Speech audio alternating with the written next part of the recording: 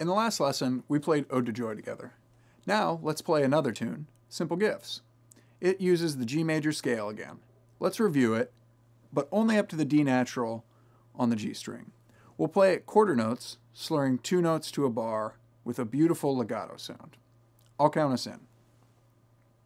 One, two, three, four.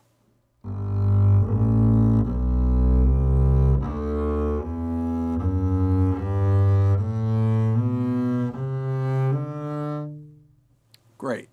Now that covers the notes that we'll need for this song. Let's talk about a few shifts that are in the song that are important to note. In bar 3, notice that we're going to shift from first position, where we're playing a fourth finger B natural, to third position, where we'll play a first finger C natural. In bar 12, we'll do the same thing, shifting from a fourth finger B natural to a first finger C natural.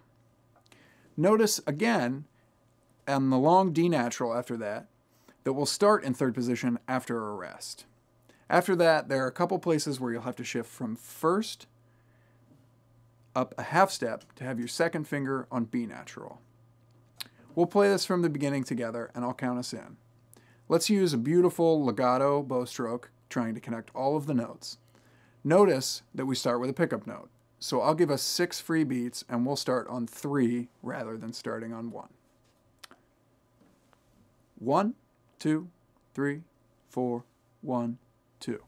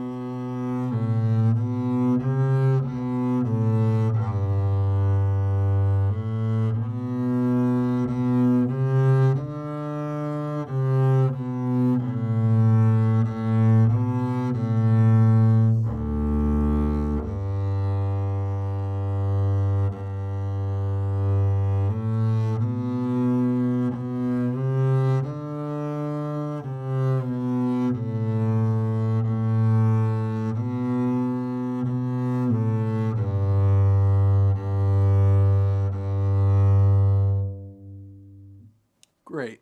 Now we've played Ode to Joy and Simple Gifts together, using a G major two octave scale.